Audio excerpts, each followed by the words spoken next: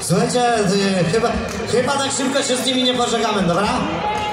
No dobra, słuchajcie, gitara elektryczna, pokaż się Adaś, chodź tutaj. Y, Weź tam, zabrzmij coś delikatnie. Adaś, słuchajcie, pilnuje, żeby chłopaki nie zbłądzili. Także brawa dla Adama. Brawo.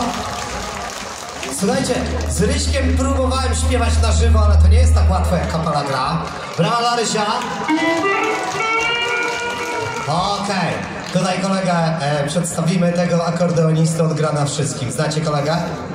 Ej, nie znacie? Może sam się przedstaw, co? Mam na imię Dolek. I brawa na Dolka, akordeon i nie tylko.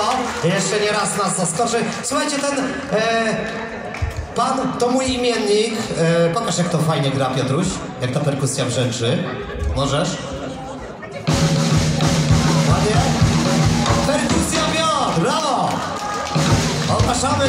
Konkurs na nazwę zespołu.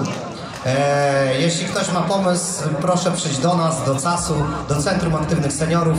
My tam jesteśmy i przyjmujemy nie tylko nazwy zespołów, ale przyjmujemy też ludzi do rodziny. Więc jak ktoś by się nudził, to zapraszamy do naszej rodziny. Chcecie bis jeszcze? Podobało się?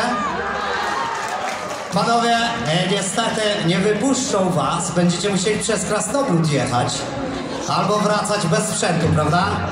Słuchajcie, myślę, że pierwsza cykliczna impreza e, została udana.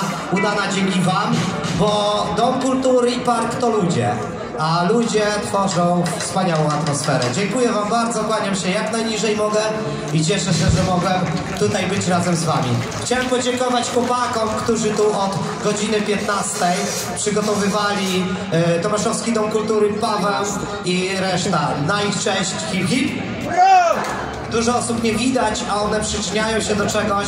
Władzom wiedzą władze, że dobrą robotę robią, to nie będziemy dziękować. Wy z całego serca możecie podziękować im, pokazując tam ostatni utwór na bis. Brawa dla was, brawa dla kapeli!